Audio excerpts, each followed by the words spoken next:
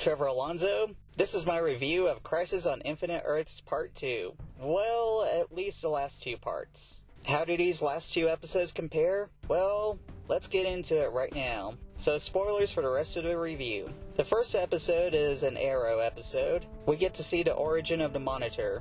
He travels to a dawn of time. His time travel experiment creates the anti universe, and it creates the anti monitor. When we see the Paragons, it's sometime after the last part. Supergirl is holding Superman's cape like he held her in the Crisis cover.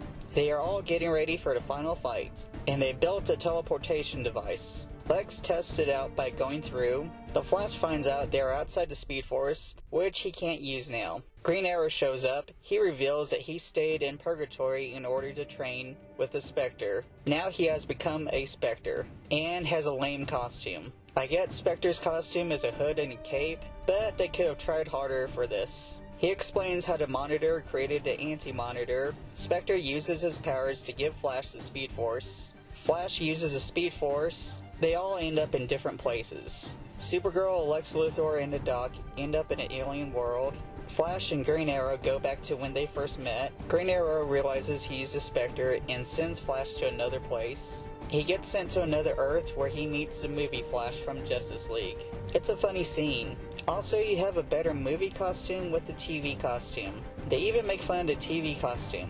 With the movie Flash saying, Oh, is this cosplay? TV Flash says something about his costume. Movie Flash says, Your costume looks more comfortable. Then the movie Flash vanishes. So now it's starting to look like that Ben Affleck is the only Justice League actor that's out. Everyone else is staying or trying to stay. We find out that Lex Luthor now has superpowers. Since he rewrote the Book of Destiny, Batwoman ends up at Green Arrow's origin. Martian Manhunter shows up at the point when Green Arrow and Supergirl met. Supergirl and Doc wander through the woods, trying to get to Lex. Flash meets a younger Green Arrow. Lex goes to the Monitor's first trip. He actually warns him of what will happen, but Lex wants to go through in order to get the Monitor's powers, in order to kill Superman. So even when he's being a good guy, he's still being a bad guy. Which he already has superpowers at this point, so even more superpowers? Well, then again, that does sound like Lex Luthor. I do have to say, Jon Cryer does a really good job as Lex Luthor. The Flash brings back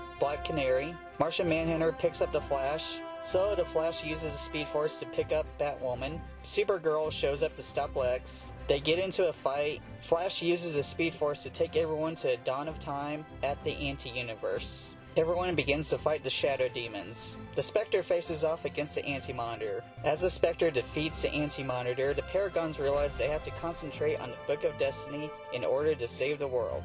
The Anti-Monitor is killed as a new universe is made. Spectre dies as he sees that they saved everything. That's the end of that episode. The next episode is in Legends of Tomorrow.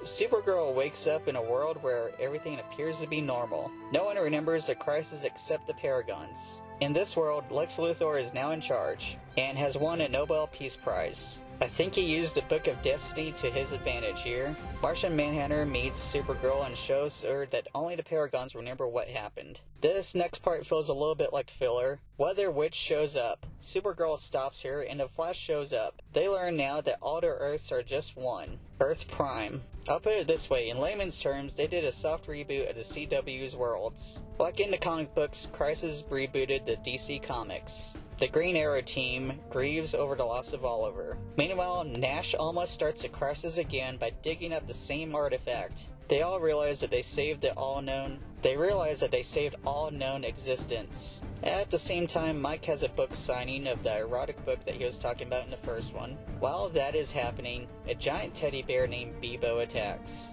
All the heroes show up to stop it, but they find out it's run by magic. Turns out the sorcerer set it up as a distraction so he can rob a bank. This giant teddy bear attack seems like filler to get to the end. It wasn't really needed, and it just feels like it's a little out of place. They found out that Anti-Monitor is still a threat when the Shadow Demons show up. They plan on shrinking the Anti-Monitor forever in order to get rid of him once and for all. The Anti-Monitor and the demons show up to face off. Now the superheroes charge, yelling out for Oliver. While the final battle begins, the Anti-Monitor grows big.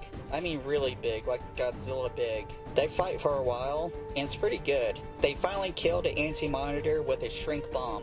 After this, there is a news broadcast of the events that happened, and they reveal to the world that Oliver Queen is Green Arrow and saved the world. They have a moment of silence for him. I'm not too happy with them letting the whole world know who he is. In almost every comic book hero that dies, saving the world, his identity is still kept a secret. The other Earths and universes grow back, creating different universes. Basically, the other shows and movies are still in continuity. We see a Stargirl Earth, we see a Green Lantern Earth. They clearly used the footage from the movie, but it's cool to see that they mentioned it. We see Titans, we see Doom Patrol, we see Swamp Thing, we see Kingdom Come Superman, and it's a quick nod to Christopher Reeve's Superman with him flying over to Earth. The heroes set an eternal flame for Oliver and agreed to start a league. They have a giant table at a hall. So now we have a Justice League in the CW world now. The show ends with a quick nod to Gleek, the monkey from the old Justice League cartoon, and they played the Super Friends theme.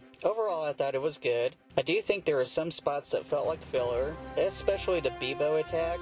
It did pretty good for a TV budget. They stayed close to the comics for the most part, but had to do some changes since they don't have rights to all the characters. Also, the budget does come into play in that part, but it doesn't really affect it that much. It's cool seeing what they can come up with. The acting is really good. This time around, the action was great. With the first three episodes, you can tell on some shows they have different stuntmen or different budgets, so it kind of affected it a little bit. I did like it. If you're a superhero fan or a DC comic books fan, I recommend this. I give this a 9 out of 10 comic book covers. It is long, but you will enjoy it. Okay, so what's your favorite part of these two?